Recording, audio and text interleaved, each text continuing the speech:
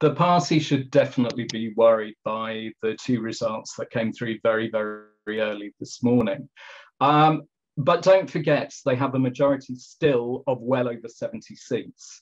It would be hard for any single opposition party to win even at the next election. What the Conservatives might need to do in order to hold on to any kind of majority is to change the leader. I think the votes last night just really reflected the toxicity at the moment of Boris Johnson as Prime Minister.